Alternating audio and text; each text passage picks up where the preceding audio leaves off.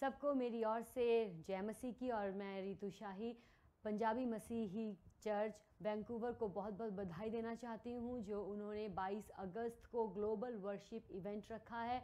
और जितने भी लोग आज मेरे साथ जुड़े हैं, मैं उन सबको इनक्रेज करूँगी 22 अगस्त को इस प्रोग्राम में जो फेसबुक पर लाइव होगा यूट्यूब पर लाइव होगा, इससे जुड़ना ना भूलें। और केवल आप ही नहीं जुड़ें लेकिन दूसरों तक भी इस संदेश को पहुंचाएँ ताकि आप भी उन्नति पाएँ और मसीह की कलीसिया भी उन्नति पाए, जिसमें विश्व भर से अलग अलग आराधक जुड़ेंगे और ये बहुत एक अच्छा समय होगा। हम इसमें प्रभु की आराधना करेंगे और परमेश्वर की उपस्थिति में समय बिताएँगे और हमारी आत्मिक उन्नति में सहायक होगा। तो एक बार फिर से मैं आपको इनक्रेज करूँगी, इसमें जुड़ना ना भूलें। जो प्रोग्राम है 22 अगस्त को ग्लोबल वर्शिप इवेंट जो रखा गया है पंजाबी मसीही चर्च वैंकूवर की ओर से।